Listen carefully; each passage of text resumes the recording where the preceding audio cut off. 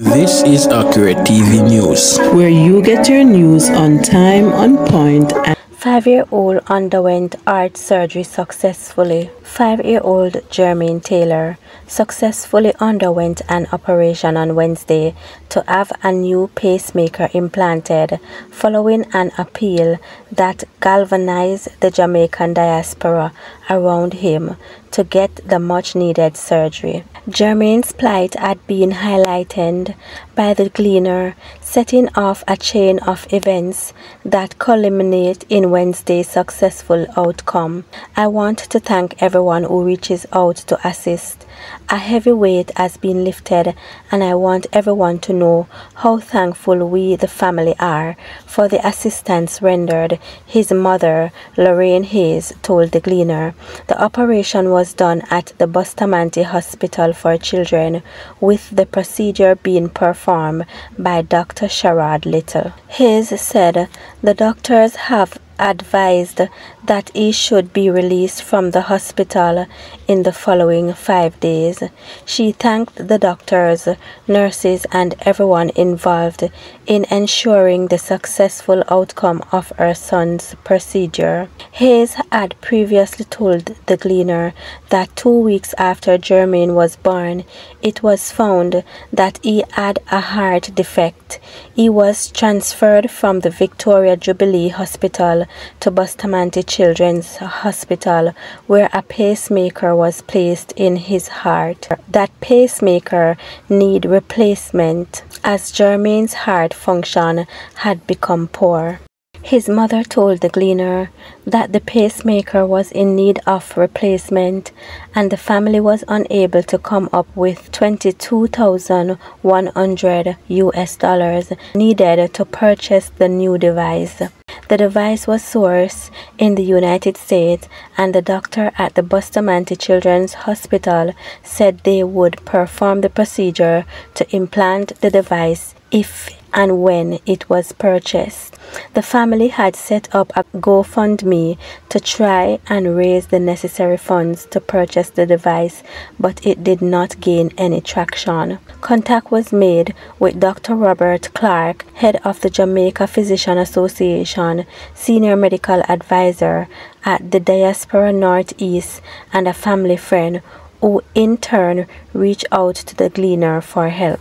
Jamaica's Consul General in New York, Alison Wilson, who had also been informed of Jermaine's plight, jumped on board and raised the necessary funds to purchase the pacemaker. She told the Gleaner that she was very happy at the successful outcome of his procedure. I am happy that we are able to help Jermaine and revel in the successful outcome, but I am still concerned about the other children at Bustamante Hospital who are in need of similar devices, she said.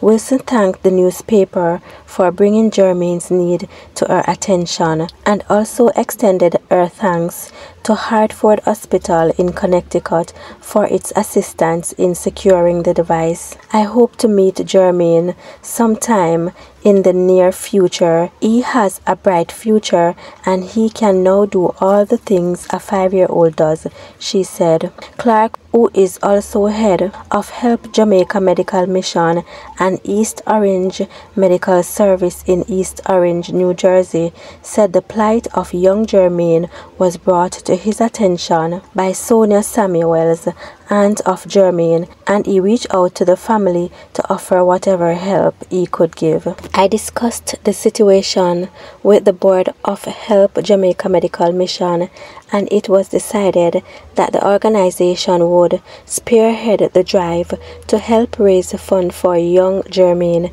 said Clark. Medical Mission, which has been in existence since 2010, is a 501c3 non-profit organization that has undertaken a number of medical missions to Jamaica as well as other parts of the Caribbean and Africa.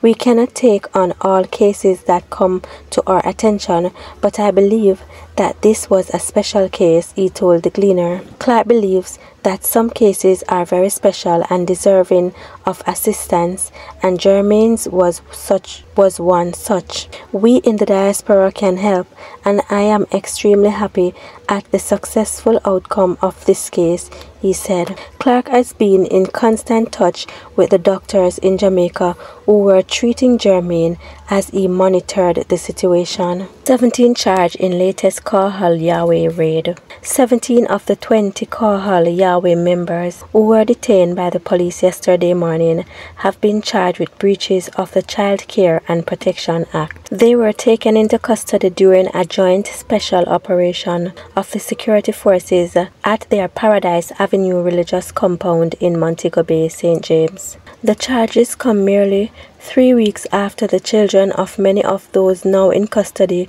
were placed in state care. The religious sect leader was also taken into custody, but up to press time, it was not clear whether he was charged. The police confirmed that several exhibits, photographs, and other material of evidential value were removed from the compound by investigators. The operation is part of our continued effort to ensure the safety and well-being of all individuals associated with the compound, particularly the children, following our action on June 7, 2023, said a statement from the Jamaica Constabulary Force, JCF Corporate Communication Unit. According to the JCF, it has been working closely with other government agencies and the family involved to ensure a thorough, fair and considerate handling of the complex matter. Representative from the Ministry of Health and Wellness joined the law enforcement team in Friday's operation which was incident-free. The Qahal Yahweh compound, which is located two doors away from the late Kevin Smith Pathways International Kingdom Restoration Ministries made headline in 2019 when the property was raided by the authorities who removed the children from one of the leaders. Those children have been reunited with their mother. One former leader recently recounted a horror experience of allegedly abuse he and his wife endured when they tried to leave the Paradise Norway property five years ago. The man revealed that he had moved there at the age of 29 and became deeply involved in the religious sect. While searching for a spiritual leader, he was introduced to the faith by a friend and soon immersed himself in the community where chastity of young females was high value. The leaders consider virginity as important due to the concept of priesthood. According to their belief, priests should only marry virgin. It is a profound ritual, almost like a sect binding that gives them a sense of autonomy within the organization, he stated. Upon his arrival at the compound in 2017, he too was bestowed with a virgin partner and granted leadership status. Parents had no say in whether their daughters were groomed for sexual orientation or forced into marriage, he said. He accused the leader of manipulating their followers through fear, thereby ensuring compliance. He revealed that he witnessed the beating of fellow members and children. Compliance became the norm to avoid punishment, said the man, noting that during his time at the compound, more than 100 people resided there. He left the church last December and over a month ago started to reveal information on his TikTok channel daily. Don't forget to subscribe to Accurate TV News. If you don't do it already, you can do it now.